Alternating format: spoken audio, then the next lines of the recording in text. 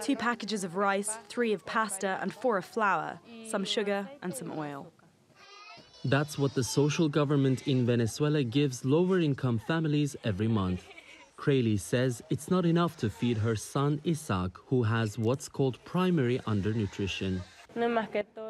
What he needs is more protein, things like chicken and cheese, which have got much more expensive, so it's very hard to get those because my husband doesn't have a job right now.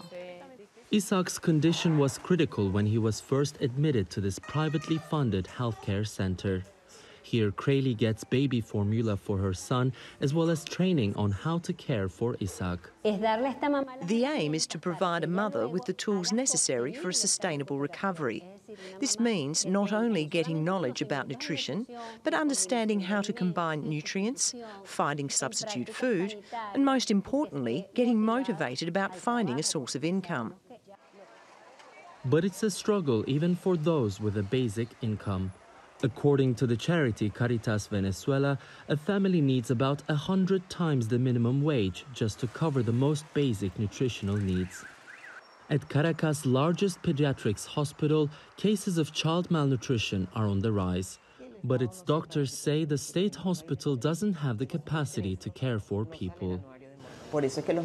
People have to go and buy their own food and medicine.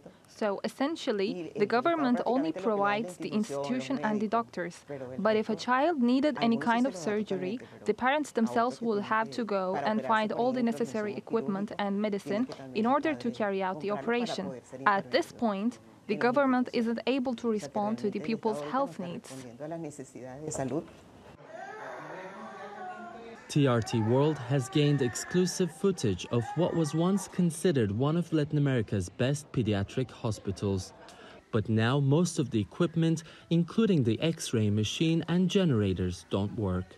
The head of the country's pediatric society believes this will have a lasting impact on the population.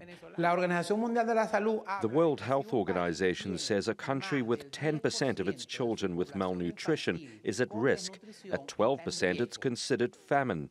In Venezuela, a recent study conducted in five different states shows that we're at 14.8%. It's terrible for the Venezuelan population. If a child doesn't grow and make the cerebral connections in his brain in the first thousand days, it's hard to recover afterwards. The Venezuelan state is compromising this generation, and at least two more to come. We'll see Venezuelans becoming thinner, shorter, and with a cognitive disability.